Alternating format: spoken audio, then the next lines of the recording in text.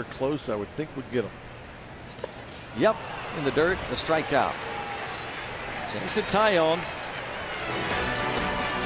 blanking the Phillies. 1 0 here in Philadelphia.